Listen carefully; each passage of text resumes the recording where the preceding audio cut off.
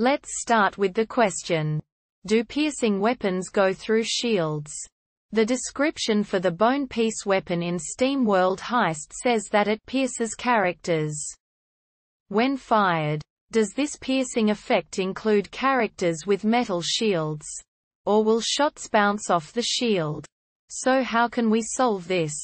There's one possible answer. Answer 1. Just tested it out. If the piercing shot strikes a shield on the front side, the shot will ricochet. If it strikes from the rear, the shot will ignore the shield completely.